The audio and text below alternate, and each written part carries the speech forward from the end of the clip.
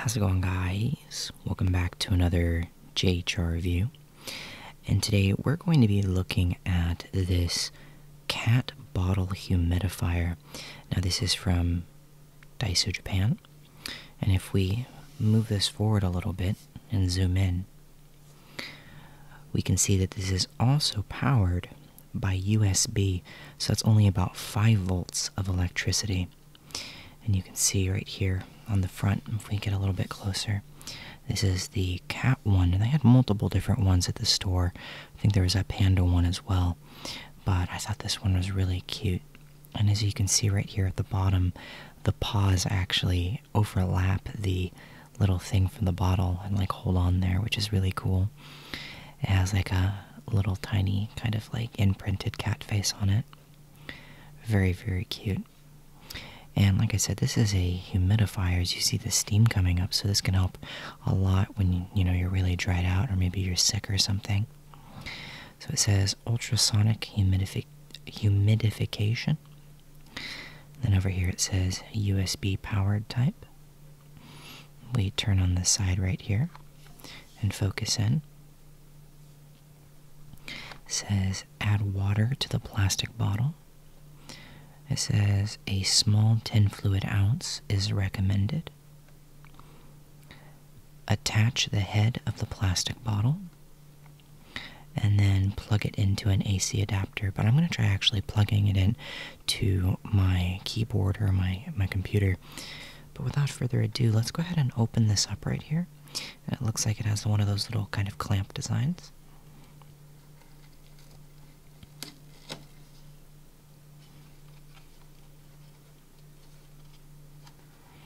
This is what the inside packaging looks like.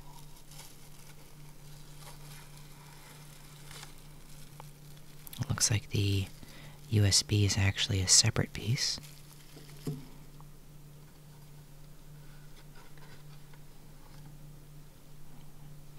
It's nice that it comes with a USB and it is powered through micro USB, if you can see right there.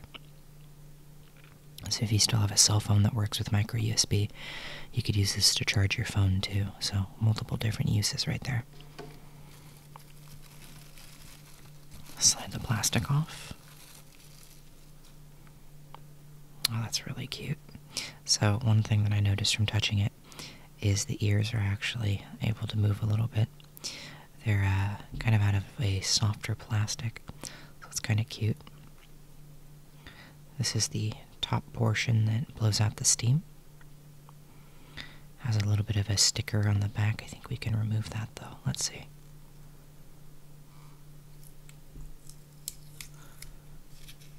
Ah, not uh, not very satisfying. That's okay though. We have a little corner over here. Sometimes you're able to do it the second time if you have patience. Oh, that was a lot better than I thought it was going to be. There we go. And then that right there too. And as we can see right here on the back, if we zoom in, right about there, we have the USB slot. So be careful not to get any water into that. So all we have to do is plug this in now. looks like this actually moves. I wonder why. Does it come off? Oh, this must be to actually make it to where maybe water can go in. I'm not too sure. I'll leave it how it originally was, though. So the wire is... It's an okay length. It's a standard length. Let's go ahead and plug that in. You never plug it in the right way the first time. There we go. And when you do, you're like, whoa. and then all we have to do get a bottle of water. And then we're going to zoom up a little bit. There we go. Let's see. Did it actually clamp on there all the way? Now, it doesn't seem like it's a tight seal, but it definitely went into the grooves. So it's definitely on there. I just wouldn't turn it upside down or anything. Now let's grab the USB, plug it in, and see if we can get some humidity going on. There we go. So after a little bit of tedious work, um, I found out that the inside thing I needed to turn it a little bit in order to allow the water to come up, I believe. And I don't think my computer had enough power, though it could have just been the fact that I hadn't turned that yet. But I plugged it into just one of my extra, you know, USBs for the power plug, and the stuff's coming out. It's humid. It's coming out and working really good, actually. I don't know if you can see that. Let me put my fingers there for a second. The uh, moisture.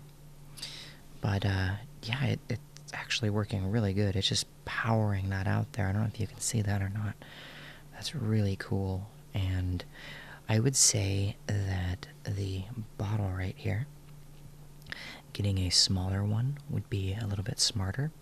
Maybe one of those miniature bottles, because this doesn't reach all the way to the very bottom. And you probably would want a bottle that uh, does. That you could still use one of these, you just have to fill it up past this point down here. What do you guys think? I think it's a really, a really interesting idea, especially for people who, you know, just want to like plug it in by their computer, or they just want, you know, a little bit more, you know, refreshing kind of, you know, humidity by them without having to set up an entire humidifier. But I really like it, and I'm really happy that I bought it. I have a lot more Daiso products that I want to be able to show you guys, so get excited, and I will see you guys soon.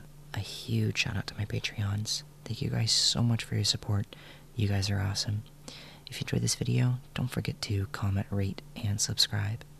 And as always, I'll see you in the next video.